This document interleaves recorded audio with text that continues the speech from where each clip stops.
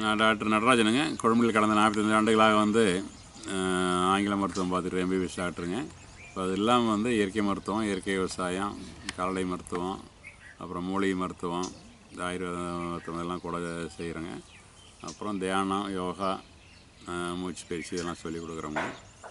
அப்புறம் இதெல்லாம் இது பஞ்சவியம் அமிர்த சஞ்சீவியெல்லாம் தயார் பண்ணுறோம் பஞ்சை வந்து விவசாயத்தை பயன்படுத்துறதுனால வந்து பஞ்சவியம் கண்டுபிடிச்சதுனால வந்து பஞ்சவி சித்தர்னு சொல்லுவாங்க. அப்புறம் மனுஷன் சாப்பிட்றதுக்கு அமிர்த செஞ்சு பஞ்சாயத்துலேயே உங்களுக்கு சாணி வாசகம் விசலாம் அதெல்லாம் தயார் பண்ணுறோம் அது எல்லா வேதிக்கும் சாப்பிட்லாம். இப்போ வந்து இன்றைக்கி நம்ம பார்க்க போகிறது இயற்கை வழியில்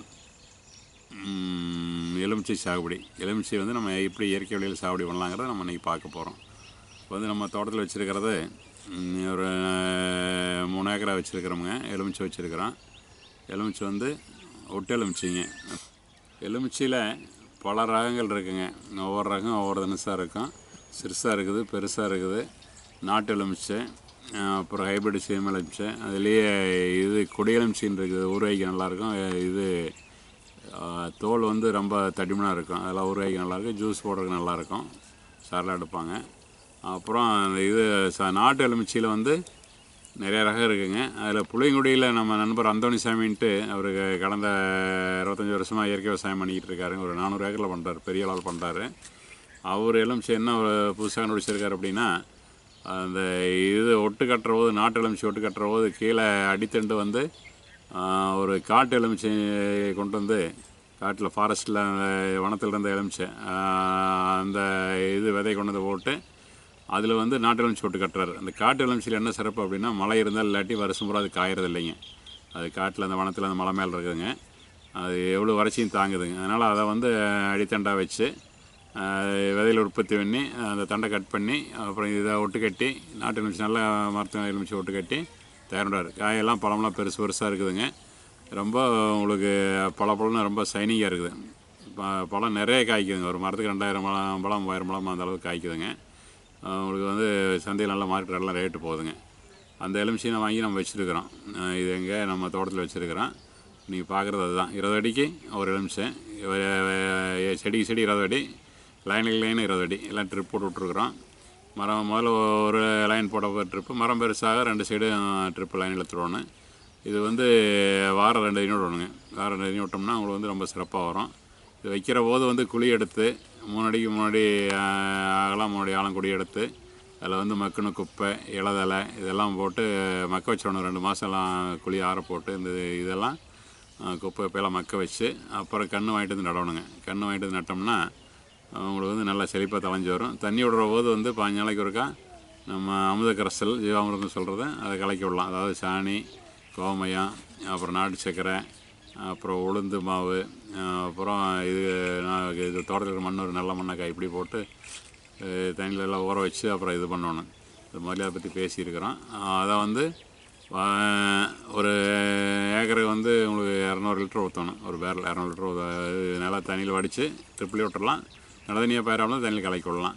பஞ்சாலைக்கு ஊற்றணுங்க பஞ்சாயத்தை வந்து பஞ்சாலைக்கு நம்ம மேலே தெளிக்கலாம். அப்புறம் இடையில அதில் புழு புழுகள் வர மாதிரி இருந்ததுன்னா இது நம்ம மூலிகை பூச்சட்டி அதை நம்மளே தயார் பண்ணி அதையும் தெளிக்கலாம். இது மாதிரி தெளித்து வந்தோம்னா எந்த வியாதி வராதுங்க. ஒரு பஞ்சையும் தெளிக்கிற போது நிறைய எலுமிச்சையில் வந்து கரும்புள்ளி வருங்க. கேங்கர் அப்படின்னு ஒரு வைரஸ் வியாதிங்க.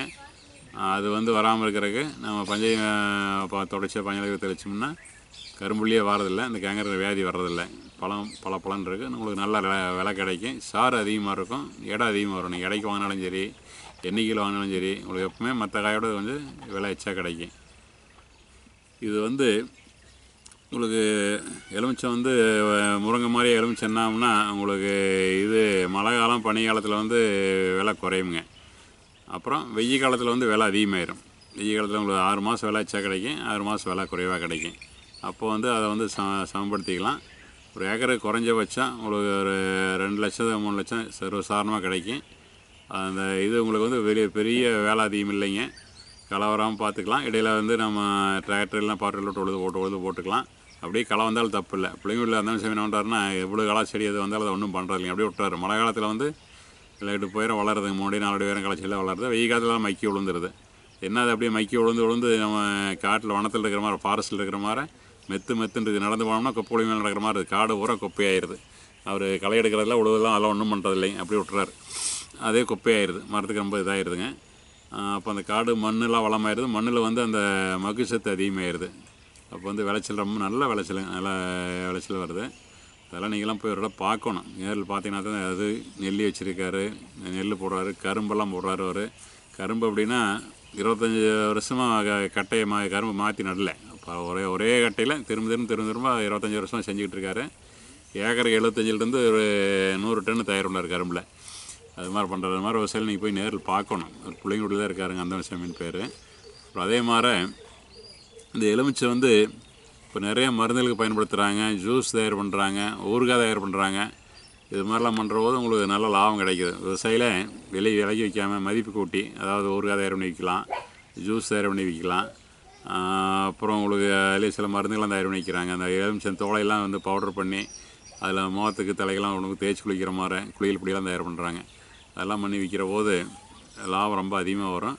உங்களுக்கு நம்ம வாழ்க்கை சிறப்பாக இருக்கும் அது மாதிரி நீங்கள் வந்து இது மாதிரி மரங்கள் நம்ம எலுமிச்சை மரம் வந்து ரொம்ப புனிதமான மரம். கோயில் கொடுப்பாங்க விசேஷத்தில் உபயோகப்படுத்துவாங்க. பாசிட்டிவ் எனர்ஜி கிடைக்கும் எலுமிச்சையில். அதனால் அந்த எலுமிச்சையை வந்து நீங்கள் எல்லாம் வளர்த்தி எல்லோரும் நல்லா சீரும் சிறப்போடு வாழ வேண்டிக் கொள்கிறேன். நன்றி வணக்கம்.